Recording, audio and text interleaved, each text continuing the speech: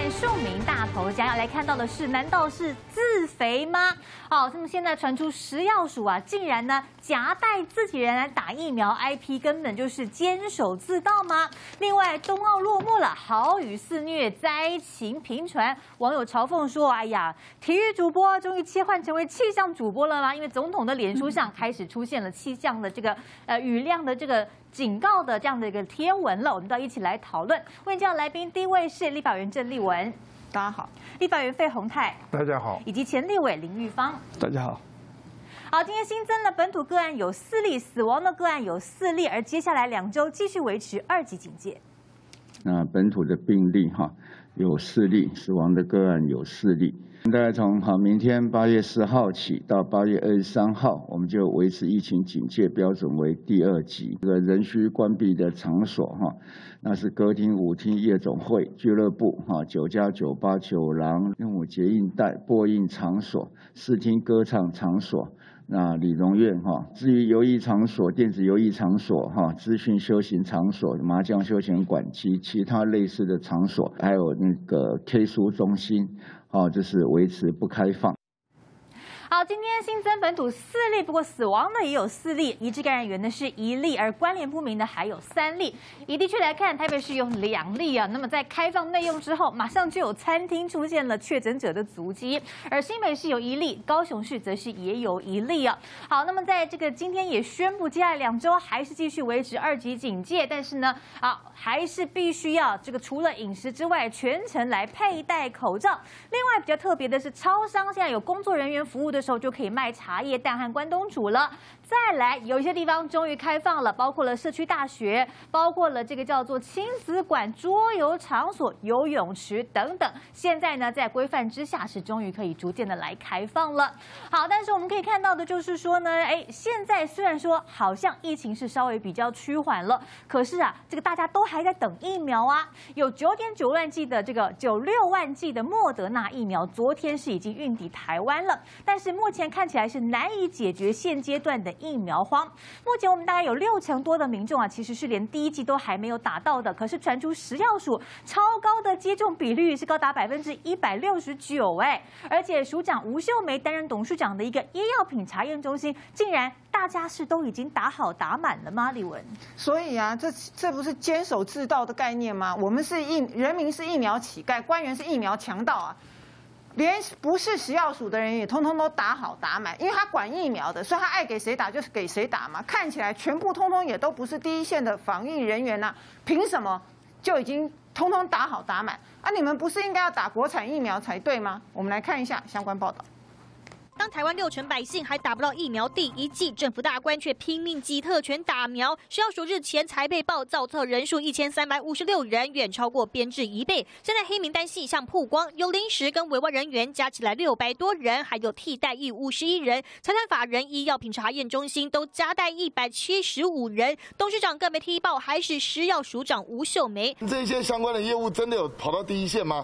如果你们都认为危险的话，全台湾这么多的上班族，为什么他们不危险？根本就是。一种图利自己的行为，还好意思辩解？只许州官放火，不许百姓点灯。外围单位约聘人员也说不定啊。那他们本身也不是公务员的资格。那怎么可以打呢？网友崩溃炮轰，有公务员资格的邮局人员，也有人染疫却没得打。公车、计程车司机甚至还没打完，大官要打第二剂了。这些省国产疫苗的，怎么不打高端？你们应该带头展现台湾价值啊！合法特权比特权更可恶，为什么呢？它就是有一个所谓的法律做一个保护伞，大难来时，官员的官制，这个所谓的那个学问。就变成是凌驾在一切的人民的利益之上。我们来看一下，这就是林奕华委员他去追查出来的。那么呢，之前就已经报说呢，食药署呢，他们的整个编制人员其实只有五百多人呐，哈，就算把编制外的临时人员四百零八人也通通都算进去了，哈，那么工友啊、替代役啊，通通都算进去了。那也没有一千多人呐，所以这一千多人是怎么跑出来的呢？就是他的委外驻点，还有呢财团法人医药品查验中心。可是呢，这些人之外，到底是哪些人灌在一三五六之内呢？就发现说，哦，原来也有国产疫苗的生产生产者。哈，还有国产疫苗的仓储、国产疫苗的物流啊，这些通通都已经夯不啷当打完了。那我们来看一下啊，那么立法委员林奕华就质疑了，这个中心的工作内容有药品审查、医疗器材咨询辅导、医疗科技评估跟国际合作。怎么看都不是第一线的防疫人员呐，我们刚刚看到的，但是刚刚看到的呢，他这讲的是 CDE 啦。那么还有我刚刚说的，甚至于外传高端的员工都已经先打了，那是不是也是食药署给他们打的呢？要记得，他是第二类人员，是在台湾疫情非常严重的时候，第一线的医护打完就是第二类，食药署就打好、打满、打超过。这些人凭什么跟我们抢国际认证的疫苗呢？好，那我们来听听看食药署这个伟大的署长吴秀梅她怎么说呢？她说啊，我们食药署真的有人员染疫呀，然后导致七十几个人无法上班。哎，有人染疫的地方很多，然后呢？难道你希望我们的工作通通都停摆吗？这个议题都已经讲过了，不想再讲了。什么叫做议题讲过不想再讲？这个态度很不健康哦！啊，卫福部的内部人士就说了，这个吴秀梅啊，仗势是卫福部陈时中的爱将。所以呢，只要是吴说的话，陈时中都照单全收，所以他的名单就不断的膨胀啦。吴秀梅是很嚣张、很跋扈的，面对立法委员的质询，他是给你顶回去、骂回去的，管你是执政党还是在野党，他不是只有对在野党凶而已，连民进党的立委他都敢凶啊，你就知道他后台有多硬了。那我们来看一下，现在呢，台湾从头到尾就是缺疫苗，好不容易呢有个莫德纳，大家都想买莫德纳。他又不去买，总共你看，我们五百零五万之前加后来加的一百零五万剂，一百万剂，我们自己买的也不过才六百万剂，加上之前美国捐给我们的两百五十万剂，总共就才八百五十五万剂嘛。那八百五十五万剂除以二，一个人要打两剂的话，只有四百多万人可以打。那现在我们自己买的莫德纳，这六百零五万剂里头来了多少呢？总共也才来了一百二十五万剂，零零星星很慢。最新在昨天来的是不到十万剂，将近十万剂。你看，就这样一点点、一点点、一点点。你看人家韩国总理，你看人家日本是怎么样去催莫德纳、抢莫德纳的。然后呢，我们就来进行一点点这样子。然后呢，现在只总共来了才一百二十五万剂。好了，那怎么办？那没有人打到呃第二剂怎么办呢？庄仁祥就说了，打完第五轮之后啊。总共有三百多万人打了第一剂，哈，所以说呢，能打满第二剂的剩下不到一百万人，那怎么办？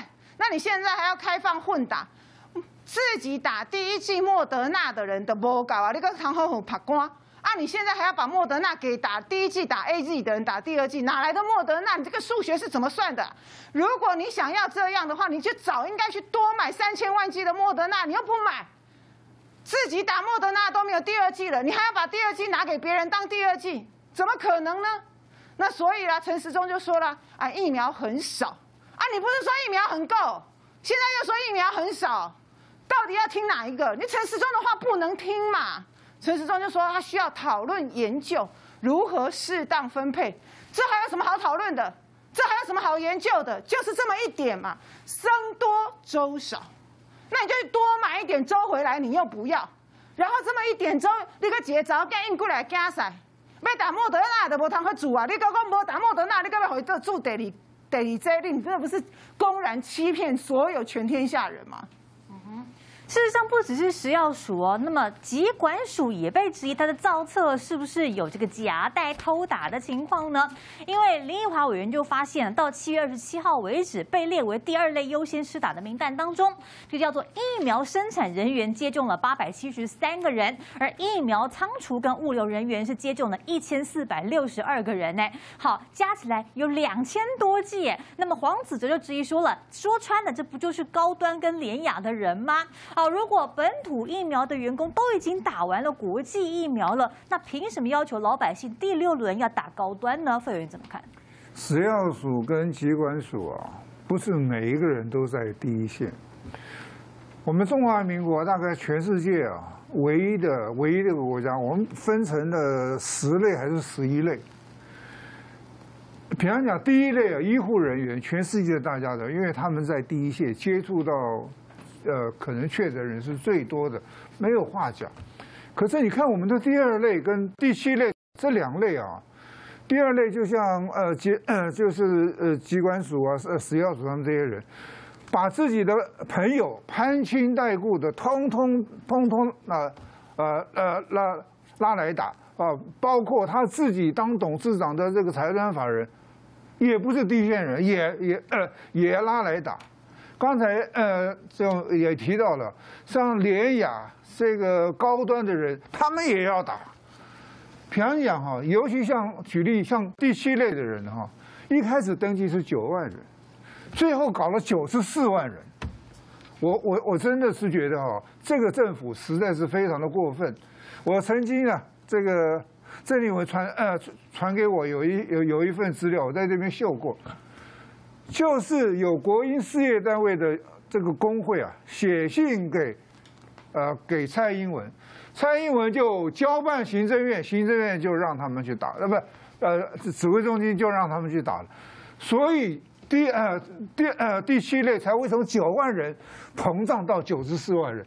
他们只要数这个就是第二类人，第二类人你看可以膨胀打施打的比例百分之一百六十九，我们台湾还有六成多六成多的人没打，这些人难道他们他们没有没有没啊没有危险吗？那些年轻人他是要养家的耶，他呃人家贴了一个呃一个看那呃看板说，我倒全家倒。因为全家只靠他那一份是，我养的全家不是全家超商哈，他们全，所以我是觉得啊，凡事要有一个公平性的哈。我们也知道，他们就是不肯多买疫苗嘛，他们就是要留下两千万剂的这种呃呃呃这样子的容量给高端给联雅。剩下他就举例，从这个礼拜开始，我们就没有疫苗了，没有没有疫苗可以试了。下一批大概会大量会进来的是到九月底开始的 BNT。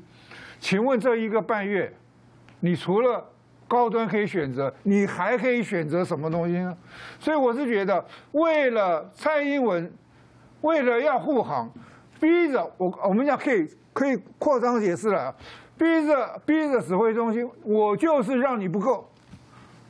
而且这段时间，平常讲五月份大爆发以后，还好有美国有日本送给我们将近六百万剂，没有这六百万剂，台湾现在会更惨。这就是我们国家的领导人，东西不买，为了高端，我们的人要打哦，对不起，你们慢慢等，先打给自己的亲朋好友，有这样子的官员。台湾的人会幸福吗？嗯哼。好，所以大家一直觉得很奇怪的就是数字一直在浮动哦。我们来看一下，好，公费疫苗的接种对象，那么不是有很多类别吗？包括了这个第二类是最受争议的，我们就来看一下这些叫做中央级地方政府的防疫人员。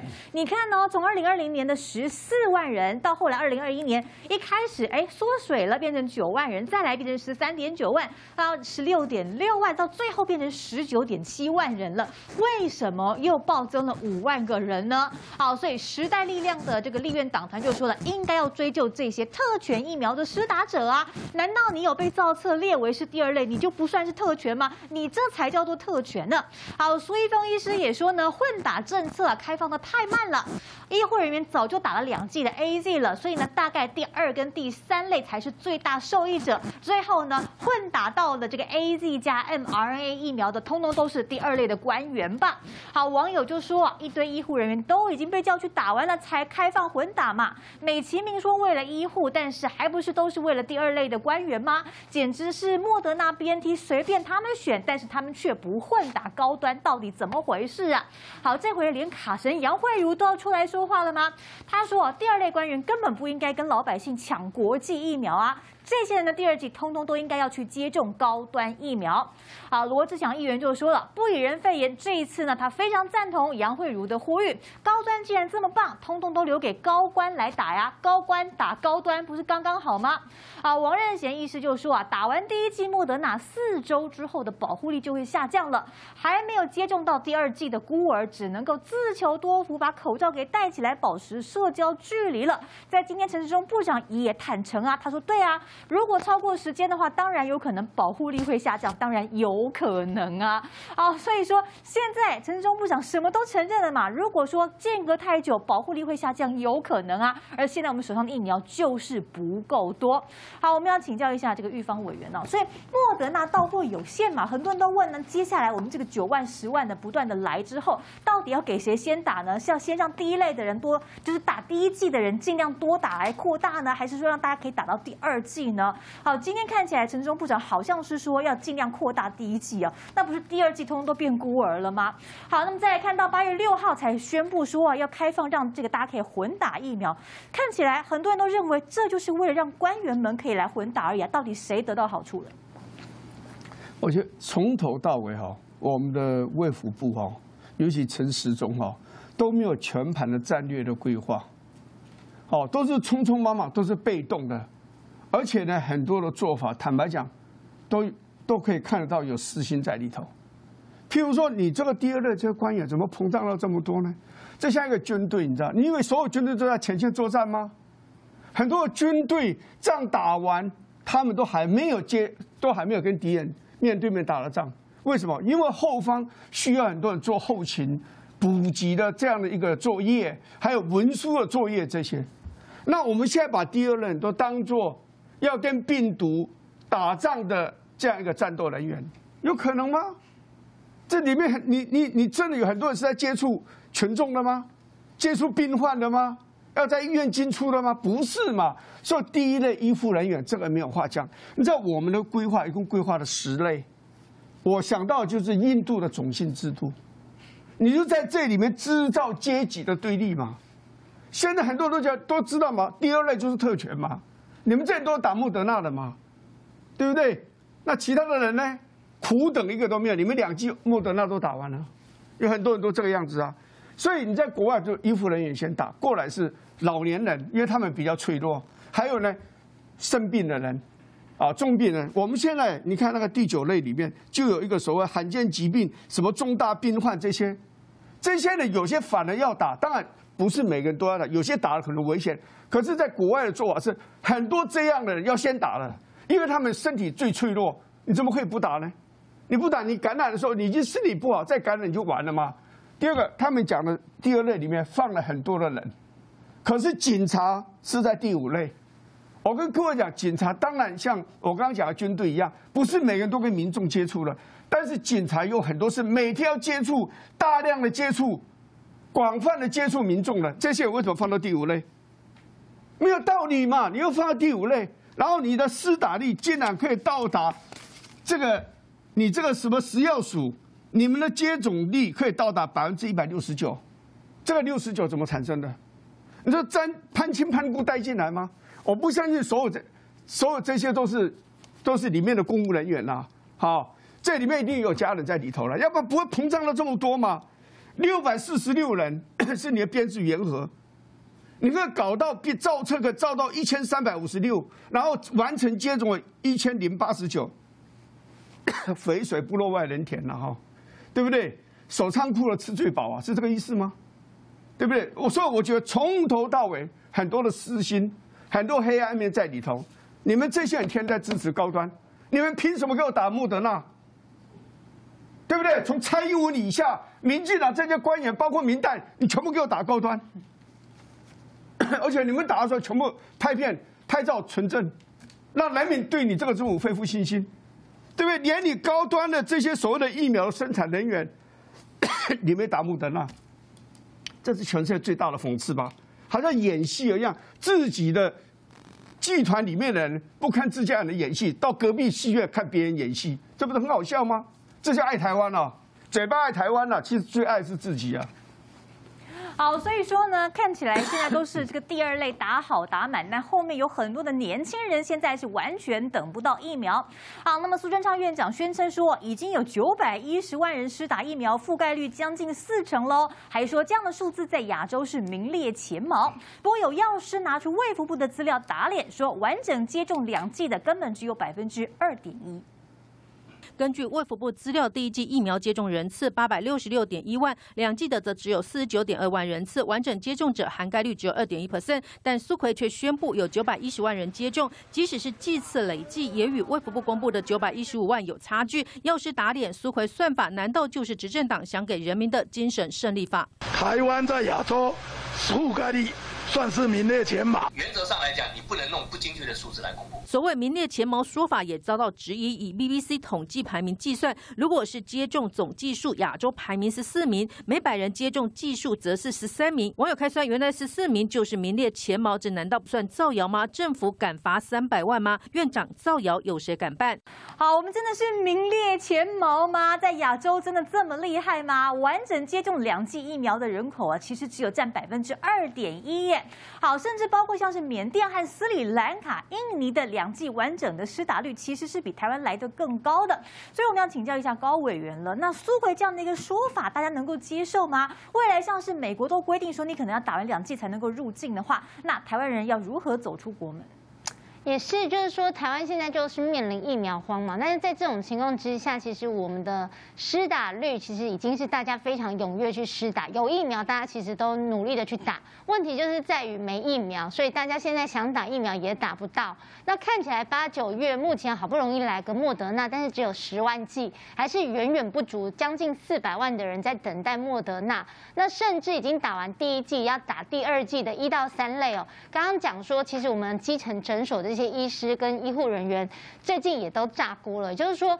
现在看起来，虽然说开放可以混打，就是他们第一季打 A Z，第二季可以混打这个莫德纳的，但是问题是目前也只开放到医院的医生哦。那像诊所这些基层人员，其实他们主要担负着这个帮我们施打疫苗的工作，所以他们其实也非常辛苦。那我们的覆盖率可以达到这么高，其实这个基层诊所功不可没。但是目前看起来，这个混打莫德纳并没有到开放到基层的这些诊所的医护人员，所以呢，主要就是。是因为这个莫德纳不足，那在这种情况之下，其实如果说这个呃疫苗能够多一点，呃，包括莫德纳或是 A Z 的话，我相信施打率会更高。那现在大家的问题就是在于说，第一。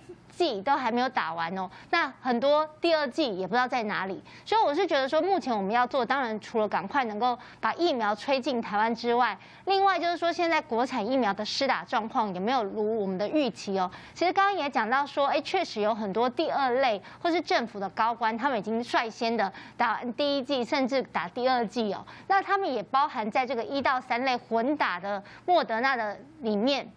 所以我们认为说，未来哦，是不是这个第二类？的这些所谓政府人员，他们第一季是打 A Z，但是他们第二季呢，不应该是打莫德纳，应该是要打这个呃国产疫苗来做一个这样子的一个比较。那把这个莫德纳留给孕妇、跟医护、跟有需要的人，包括第九类慢性病，其实也非常多的人，他们只能打这个 m R N A 哦。所以我觉得应该要先把疫苗留给这些有需要的人。那目前看起来的我们的防疫措施呢，在今天的这个呃病例数来看的话，确实有呃慢。慢慢的降降低哦，到今天只有四例而已。但是未来我们担心就是 Delta 一旦来的话，那如果我们的覆盖率不足，应该要怎么办哦？那也有医生说，如果我们打了第一剂，再加上这个。口罩的话，其实也等同打两剂啊，所以大家还是要努力的戴口罩啦。这是第一个。那第二个就是说，那如何让这个 Delta 病毒在境外能够这个呃主角久一点呢？所以我们也是在跟时间赛跑。那在这种情况之下，还是呼吁大家就是有疫苗就打。那像我自己也会去打高端疫苗，希望能够这个带头，就是说至少说哎有一个呃保护力这样子。就让大家觉得说，至少还是民进党的这些呃公职或者是委员有人去打高端疫苗了。但是，是不是因为真的没有疫苗可以打，所以只能够打高端吗？但是赵康说他不会打。我的确听到很多人讲说，我现在没有啊，怎么办呢？那怎么办呢？哦，那只好打高端了。哦，你如果问我，我是觉得说，我宁愿等，我也不要打高端，对不对？你十月可能就 BNT 进来，郭董现在在催嘛。那 BNT 陆陆续续有一千五百万剂啊，你扣掉了那个中学生一百二十四万人，大概会用掉这个两百五十万剂。那其他的你还有一千两百五十万剂啊，可以让一般人打哦。所以不要急了，因为台湾现在疫情也不是那么严重，所以你为了勉强，为了打疫苗，为了打疫苗去打高端，那你干嘛冒这个险呢？哦，我认为以目前台湾的疫情跟你打高端的风险，我宁愿不打高端。有高端的受试者在网络发文说，九月才要抽血来确定抗体，那么现在就要让老百姓来施打了，这安全性难道不会有问题吗？所以张浩刚就呼吁大家说了，不要急，先不要打高端，等 BNT 来台湾呢。好，联合国的儿童基金会把高端列为是只获得了一个国家 EUA 的疫苗，哎，好，那么既然就有作家说认为高端现在是取得了疫苗奥运的参赛资格了，丽文呢，这会不会对于高端的期望有点太高？了一点，要代表我们台湾去参加奥运比赛嘛？问题是人家明明就是一个没有做三期的这个疫苗嘛，你怎么去跟国际这些疫苗来比呢？这种胡说八道的作家的话就不要听啊，写的东西也不要再看了，浪费生命，浪费人，浪费人生。那现在网络这么的开放，所有胡说八道的文章，只要你敢剖，都可以全部到处剖。但我们自己要自己过滤，不要污染我们自己的智慧。那高端根本就不是疫苗。为什么要打？它根本就不是疫苗啊！谁说它是疫苗？